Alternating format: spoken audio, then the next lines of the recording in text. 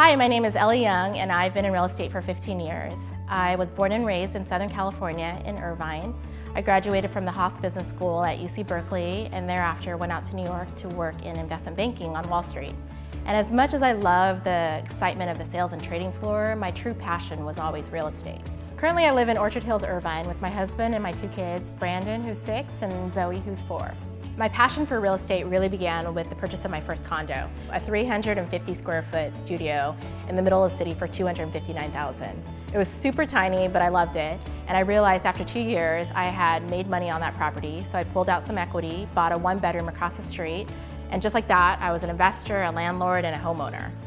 And I soon realized, even though I worked on Wall Street, there's no way that I could have made as much money saving as I did investing in real estate. Having bought and sold multiple properties, I know that buying and selling real estate is a very stressful process.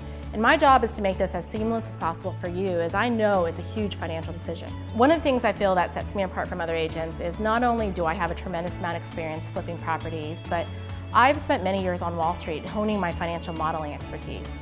This can add tremendous amount of wealth to clients in finding that right property that can generate a high return on investment.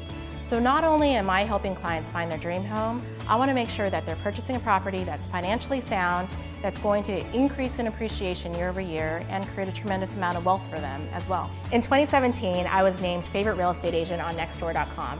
I'm also ranked in the top 1% of agents in Orange County. So if you're looking to buy or sell a home, looking for that hot deal on that investment property, I'd love to work with you. Anyone can sell you a home. How many can create a wealth strategy for you?